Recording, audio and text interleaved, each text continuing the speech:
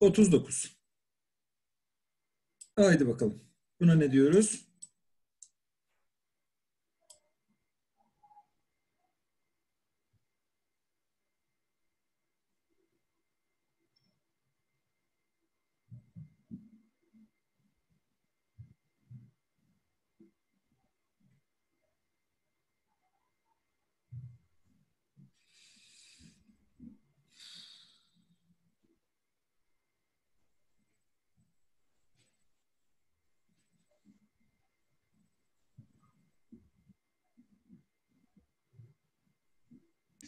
Ben Bursa buldum hocam. Dört kişi sokağa çıkma yasağını verdi. Bursa dedin.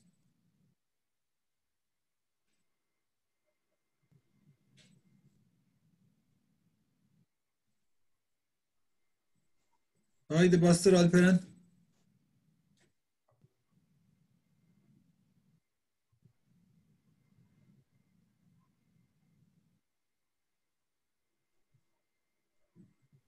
Bursa hocam.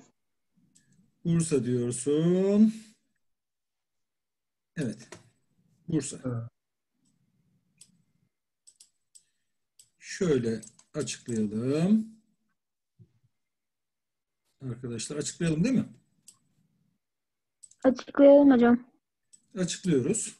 Şimdi arkadaşlar bakın burada eee, bir F kuvveti K yay sabit olan yayı sıkıştırıyor.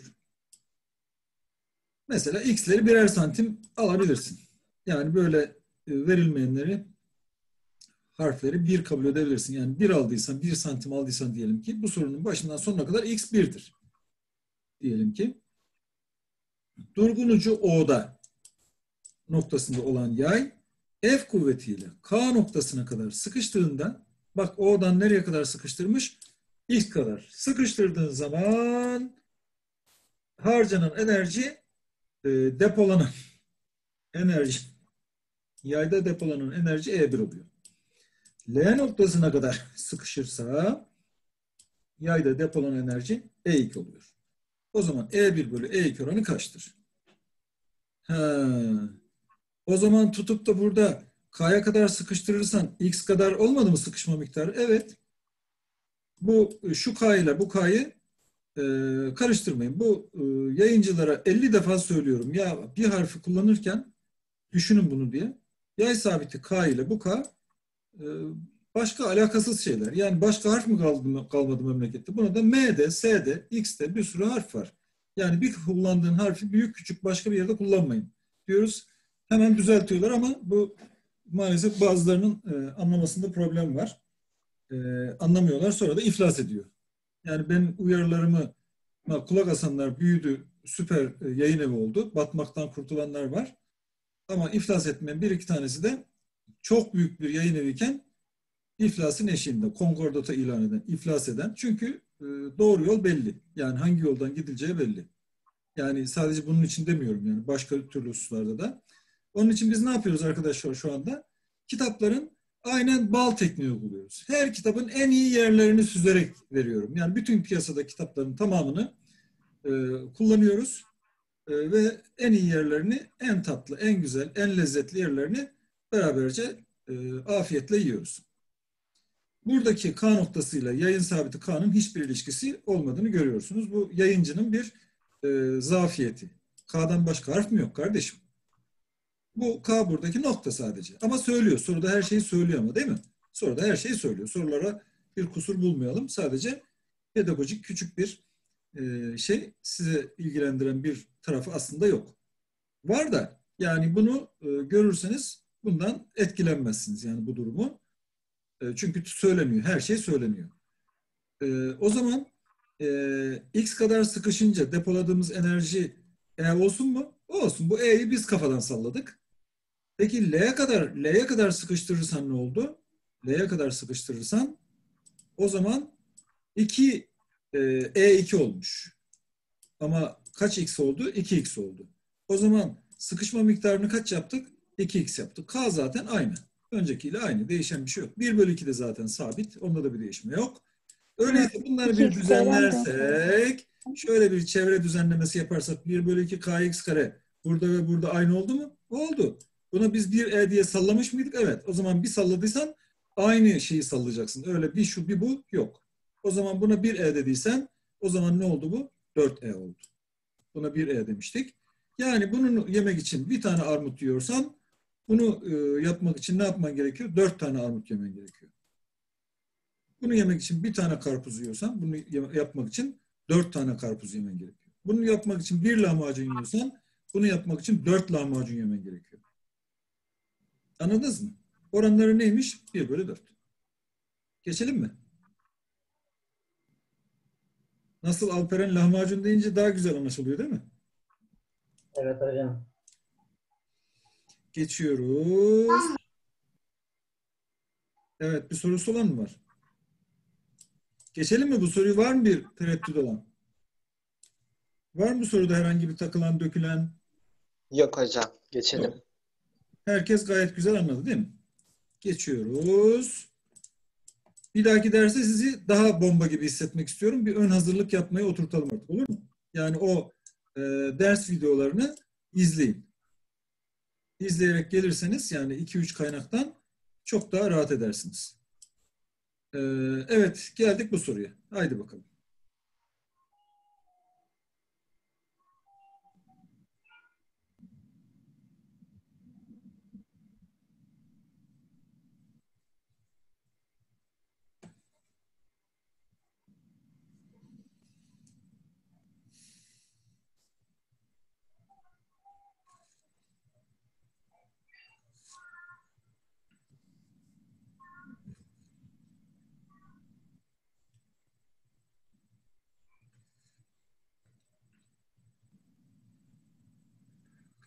İki üç hocam.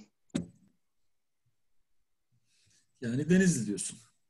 Evet. Hocam Evet. Bence de Denizli. Denizliciler çoğalıyor. Doğru. hocam ben 2 ve 3 diyorum. Denizli diyorum. Ne diyorsun bir daha söyle. Ben de biraz bulanık oldu ama neyse.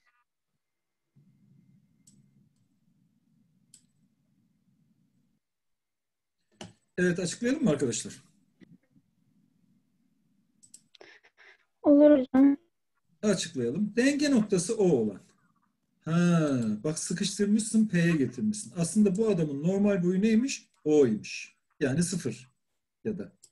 Yayın ucuna M kütlesi bağlanıp ne yapıyorsun? Alıp bir tane takoz bağlıyorsun buraya.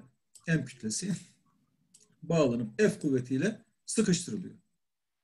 Ha, nereye kadar sıkıştırmışsın? Ee, M kütlesi P noktasındayken yay üzerindeki potansiyel enerji E'dir. Çok dikkat edin yalnız.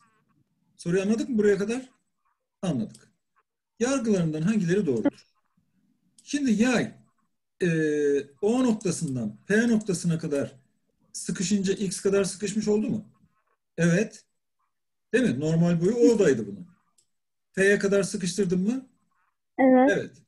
O zaman eee, bu 1 bölü 2 kx kareye bir e diyelim mi? Diyelim. Yaya depoladık biz bunu.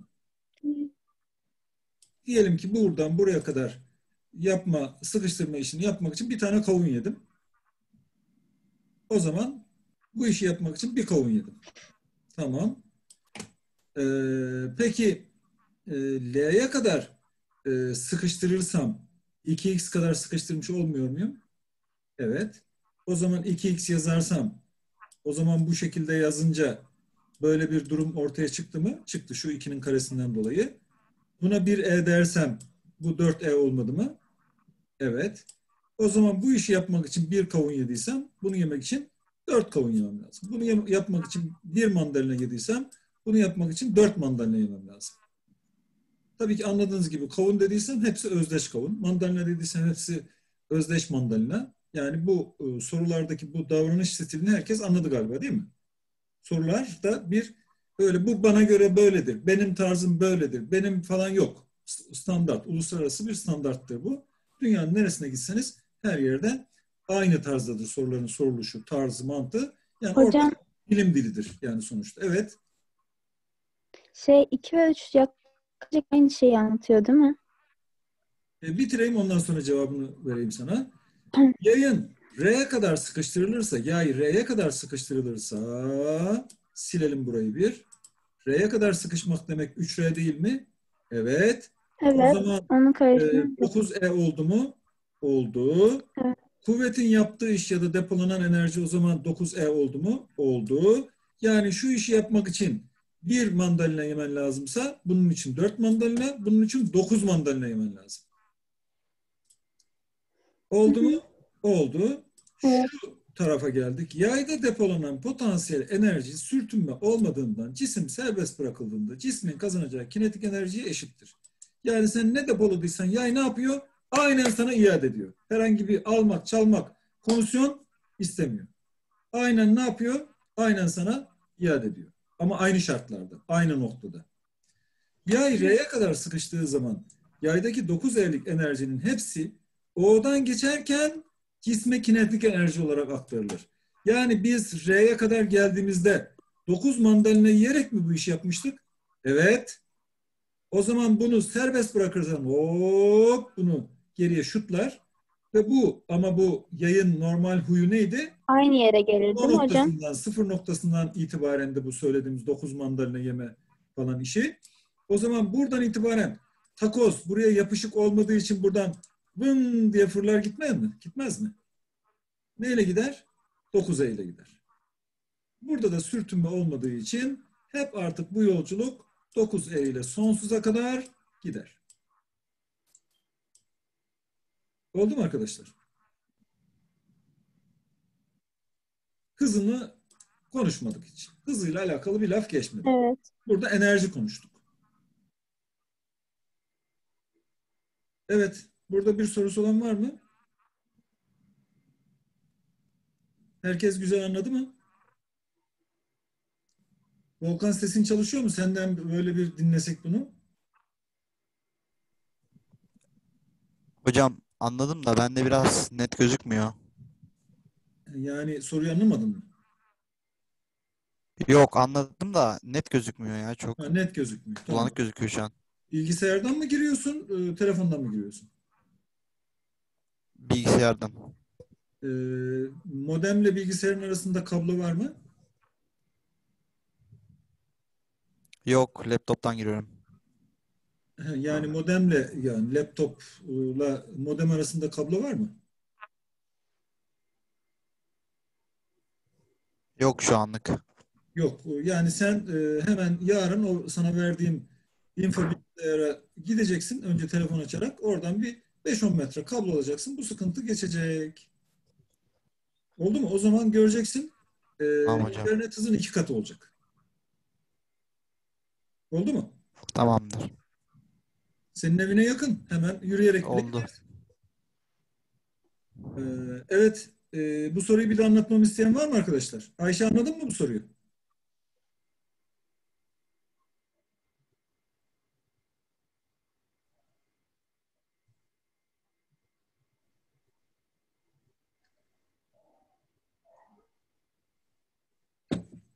Evet anlamayan varsa söylesin arkadaşlar. Bir pürüz var mı?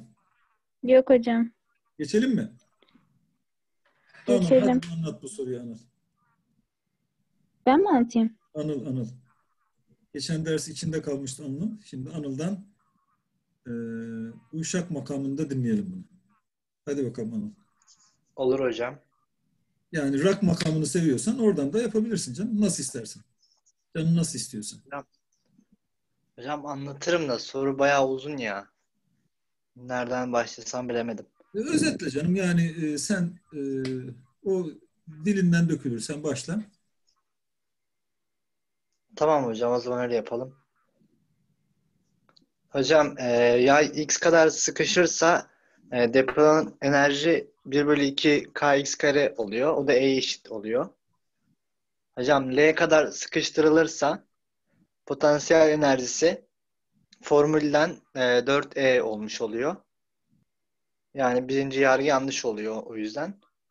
2e demiş. Hocam R'ye kadar sıkıştırılırsa e, potansiyel enerjisi 9E oluyor. E, ikinci yargı doğru oluyor o zaman. Ee, üçüncü yargıdayız hocam. Ee, yayda R'ye kadar sıkıştırıldığında 9 elektrik enerji hepsi O'dan geçerken cismek kinetik enerji olarak aktarılır hocam. Güzel. Üçüncü maddede de 9 E, e demiş. Gayet güzel. Geçiyoruz. Bir pürüz olan varsa sorsun arkadaşlar. Zannederim bir pürüz yok değil mi? Geçiyoruz. Diğer soruya. Evet. Başka bir dünya güzeli soruya geldik. Hadi bakalım şimdi bunun cevabını istiyorum.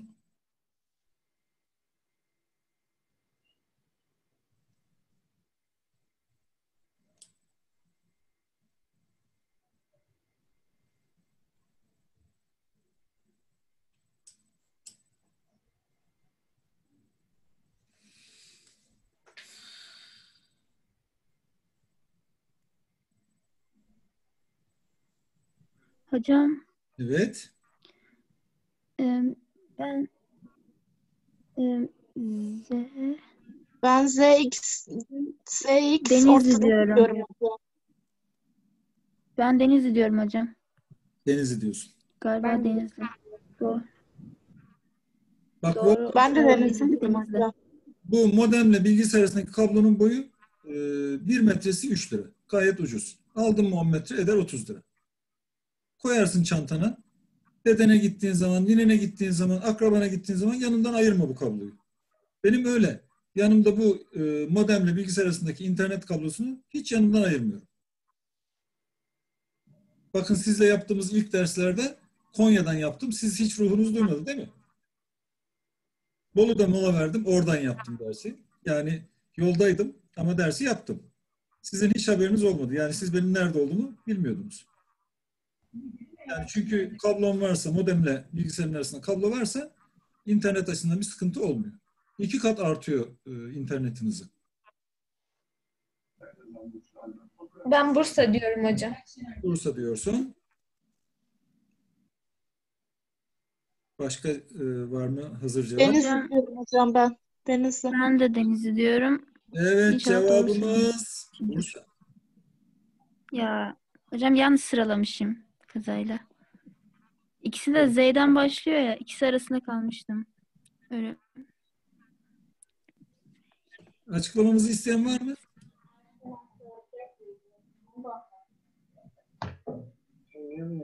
Arkadaşlar eksik varsa söyleyin anlatayım. Yoksa geçeceğim. Utanacak sıkılacak bir şey yok. Yani her seferinde yanlış cevap versen de e, hiç cevap vermeyenden 3-0 öndesin.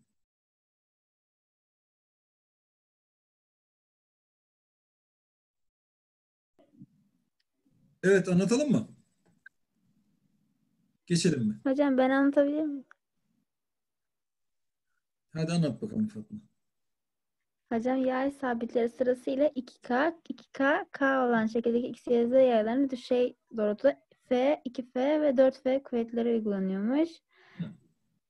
Ee, işte esneklik potansiyel enerjilerinin sıralamasını istiyor. Birincisinde 2X e, bir şekil 1 diyor yani. X'e 2K'mış şeyi ve F kuvveti uygulamışız. Şey sa- yay sabitleri küçük olan daha şey olacak. Bir de o yay sabiti küçük olana 4F kuvvet uyguladığımızda daha çok aşağı inecek mantıken. Ama ikisi de yay sabiti aynı olana bir tanesinde 2F kuvvet uygulandığında mantıken işte daha fazla aşağı inecek. Daha fazla kuvvet uygulandığı için o nedenle Bursa oluyor. Güzel. Takıldığım şurası var. Şurayı bir anlatalım diyen var mı? Ayşe Melek var mı takıldığım bir yer?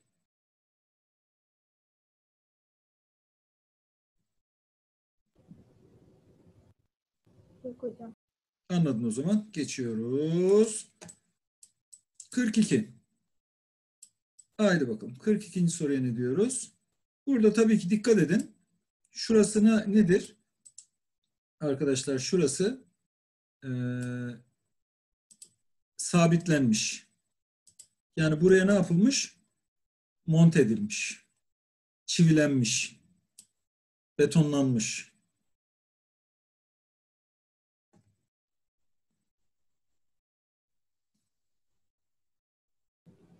Hocam net gözükmüyor da. Net gözükmüyor mu? Biraz daha büyüteyim. Çok bulanık. Şimdi iyi mi? Yok hocam aynı. Biraz daha büyüteyim. Şimdi Ben de iyi gözük. şimdi iyi mi? Hayır hocam çok bulanık hiçbir şey. Fotoğraf atayım o zaman sana. Fotoğraf atıyorum. Geçici bir şey galiba. Arkadaşlar modemlerinizi de yani 2-3 günde bir e, gece kapatın sabaha kadar e, sönük kalsın. Yani e, modemler de ısınıyor çünkü. E,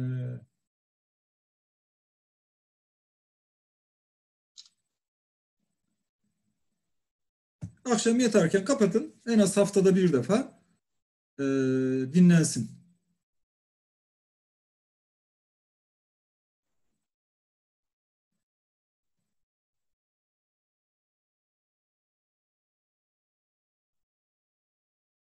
dinlensin. Hocam cevapları da görebilir miyiz acaba? Cevapları getiriyoruz.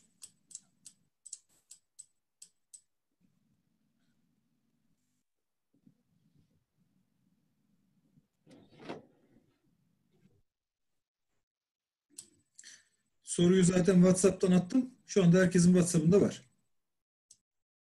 Tamam hocam. Bir dakika bakayım.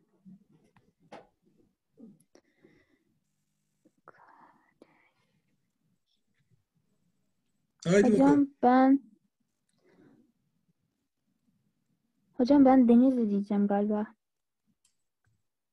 Son kararım. Ben Edirne diyorum. Evet, Gülay Edirne dedi. Cevaplıyorum. Ha evet Edirne'ymiş. Bolu. Ya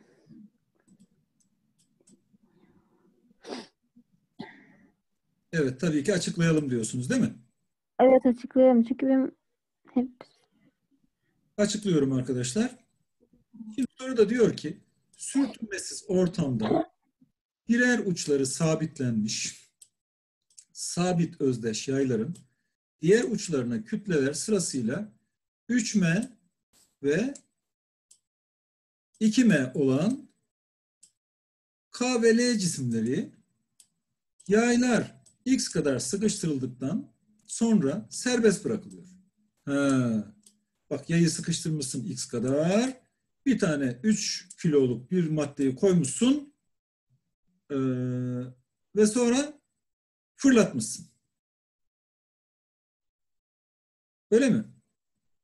Evet. Ee, burada o zaman e, bunu da x kadar sıkıştırmışsın. Bunun da kütlesi ne kadarmış? 2 m'ymiş. Ee, buradan fırlama hızları nedir? K ve L toplarının. Enerjilerini soruyor, bir de hızlarını soruyor. Ha, şu ana kadar hızlarını konuşmamıştık değil mi? Şu ana kadar ne konuşmuştuk? Enerji konuşmuştuk. Hep hıza e, girmemiştik. Şimdi hıza da girebiliriz. Bildiğiniz bir mevzu.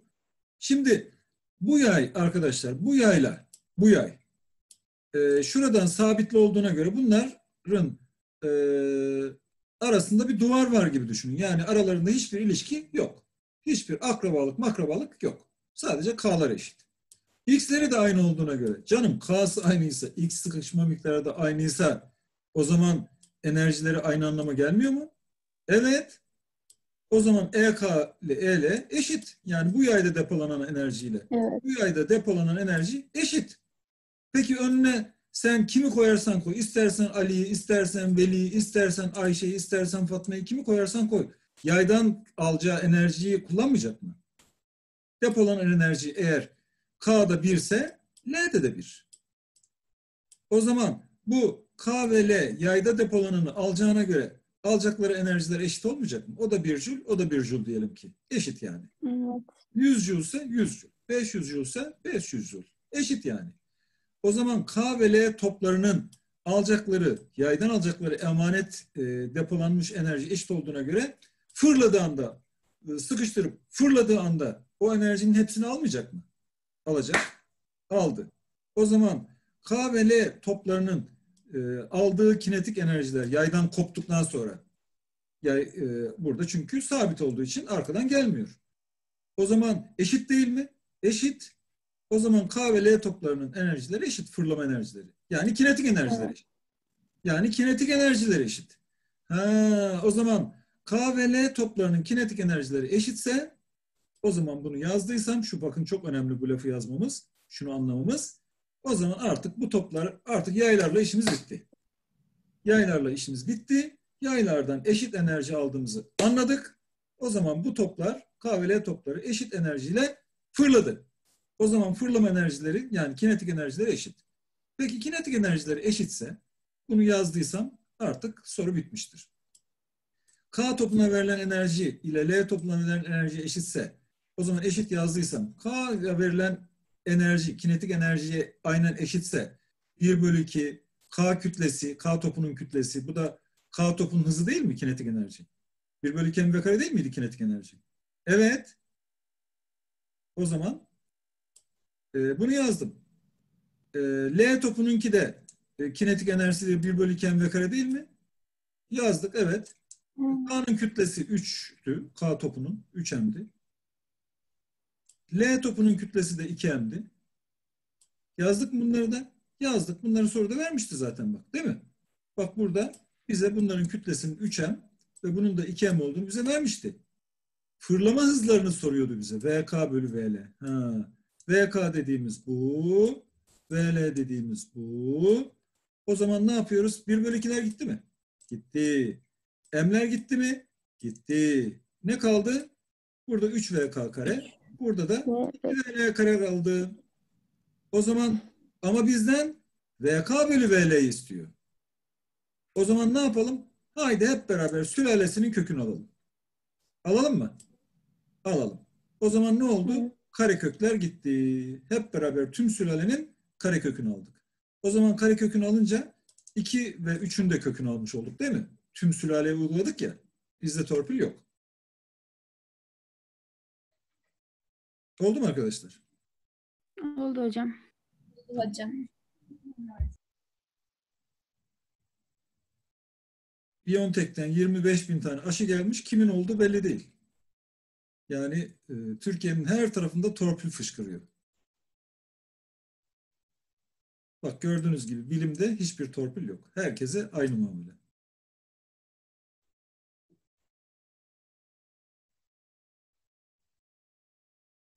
Evet. Bu soruda anlaşılmayan bir şey var mı? Yok hocam. Var mı? Arkadaşlar takılan dökülen var mı? Anlamayan var mı? Yok hocam. Geçiyoruz. O zaman soru 43'e. Evet. Enerjinin korunumu ve enerji dönüşümleri ee, başlığına geldik. Ee, burada şöyle büyütelim. Enerji dönüşümlerinin videosunu bir izleyelim.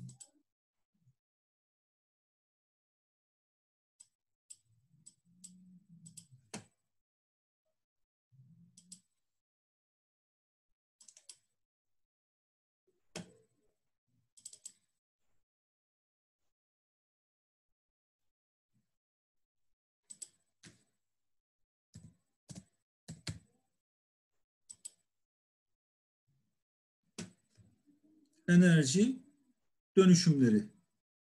Enerji dönüşümleri. Neredeydi bu enerji dönüşümleri? Bakalım. Enerji dönüşümleri. Ee, enerji dönüşümleri ve enerjinin korunumu. Enerjinin korunumu.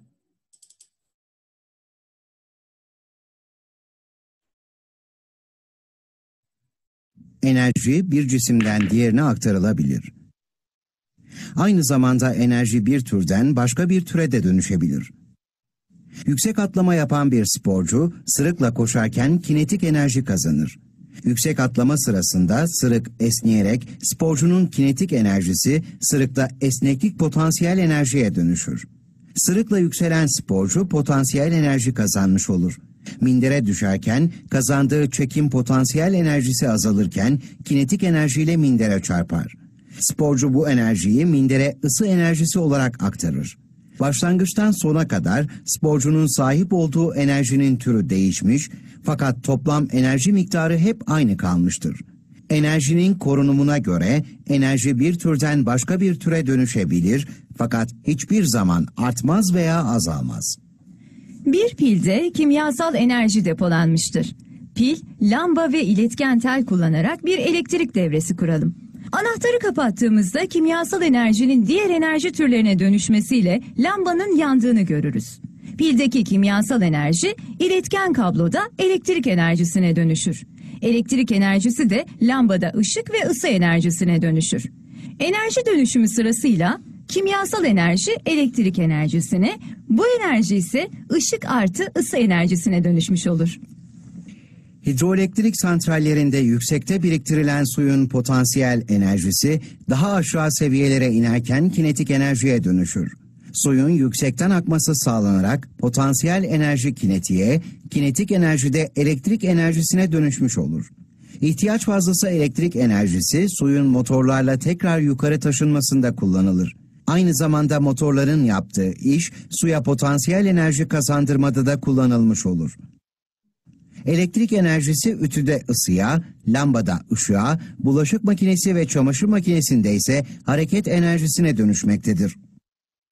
Sürtünmenin olmadığı veya ihmal edildiği ortamlarda yalnızca kinetik ve potansiyel enerjiden bahsedilir. Kinetik ve potansiyel enerjilerin toplamına mekanik enerji denir. Bu durumda sürtünmesiz ortamda mekanik enerji her zaman korunur. Mekanik enerji eşittir kinetik enerji artı potansiyel enerji şeklinde tanımlanabilir.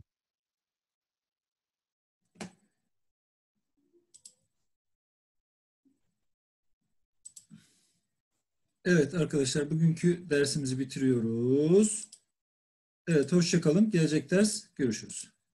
İyi akşamlar hocam. İyi akşamlar. Hoşçakalın hocam. İyi akşamlar. İyi akşamlar.